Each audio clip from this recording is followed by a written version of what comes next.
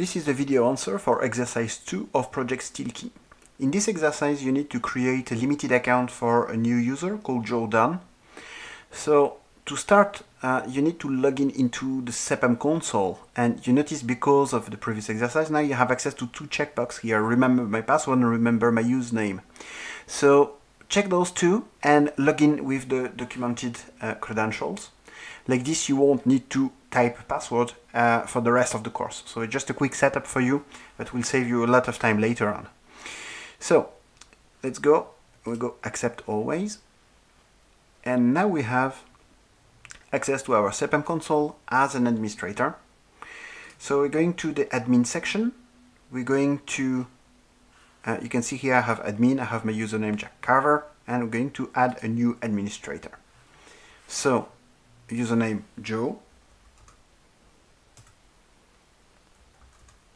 right? And then we put the the email address which is important for password reset and reporting.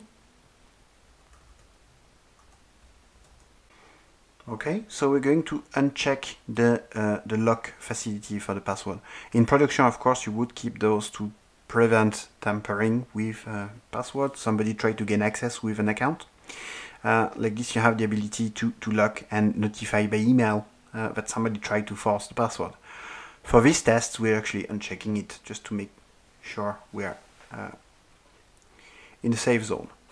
So we're going to look at access right. So this account has to be limited because uh, it's new employee. We don't we don't know if he has much experience with the console. So we might just want to give him access just to view reports and uh, manage groups. Okay, so we just check those two boxes. Here, if you look at group rights, this is not part of the exercise, but just to expand a bit on this, you can see you have the whole file structure. So far we have full access, but we could also say, okay, this is a new user. We can actually right click on the root of the structure and put read only. So like this, you're sure the user wouldn't actually modify anything. You just will have a, read access to, um, to monitor systems. So we're just going to click OK. Then we need to go to the authentication place and put password never expire and set the password as documented in the lab guide. Now the, the account is created, so we're going to click OK. We're going to log off. Log in as Joe. The password is the same as uh, we, we had before, so just don't even need to type it again. We accept the certificate. And now we'll be logged in as a limited user. So going to answer the questions you had. So can you access the report view? So you can see we can we can access it. Can we access the managed server?